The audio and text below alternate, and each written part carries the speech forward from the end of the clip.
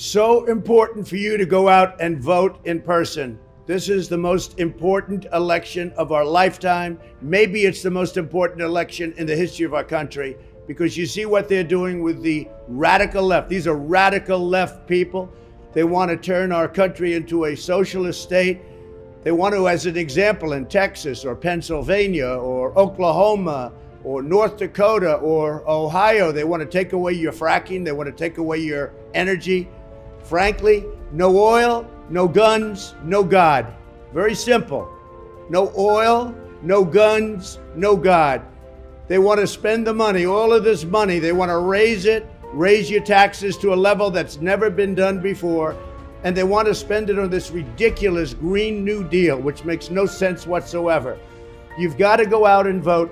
Go out to the polling booth, vote in person. Most important election we've ever had. Go out and vote in person. Thank you.